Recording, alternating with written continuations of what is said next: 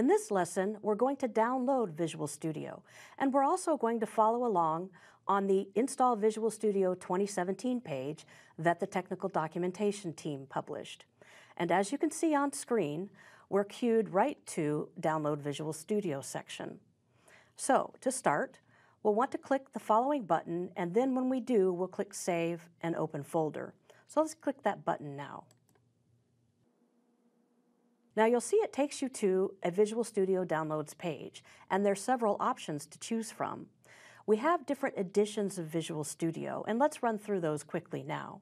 First, we have Visual Studio Community. It has an advantage of being free, but it's a fully featured IDE and it's meant for students or open source or individual developers. So like if you have a weekend coding project, it would be perfect for that. Visual Studio Professional is a version of Visual Studio that offers additional tools and services, and it's meant for small teams. Visual Studio Enterprise, in comparison, um, is an end-to-end development solution, and it meets the scale of what an enterprise would require.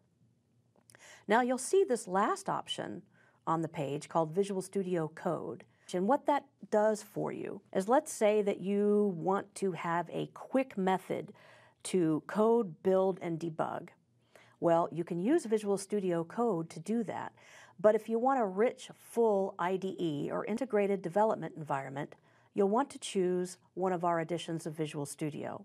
And for the purposes of this lesson, we're going to install Visual Studio Community.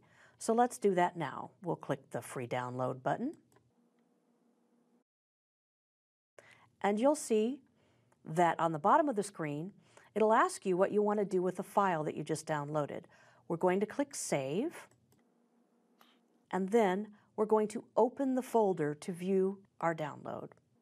And you can see there it is in our download folder, VS Community, and we have successfully downloaded it. And that concludes this lesson.